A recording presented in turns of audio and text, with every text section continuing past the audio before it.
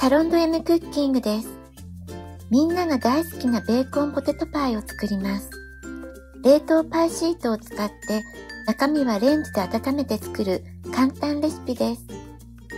お家で焼きたてのベーコンポテトパイをサクッと美味しく食べられます。余った中身のフィリングとツヤ出しに使った卵でベーコンポテトグラタンの作り方もご紹介します。ぜひ作ってみてくださいね。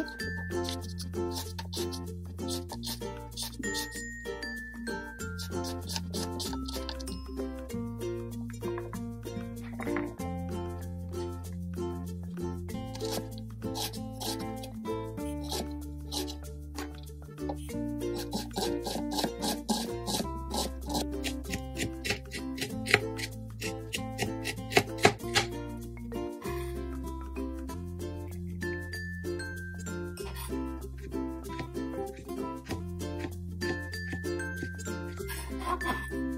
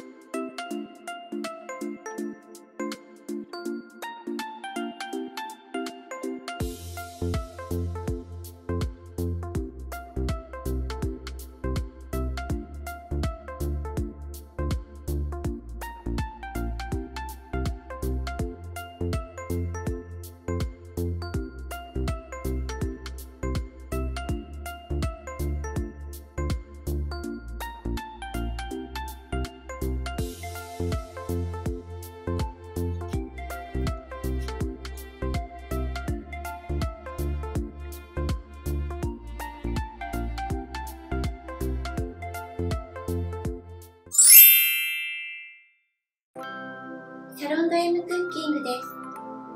いつもご覧いただきありがとうございます。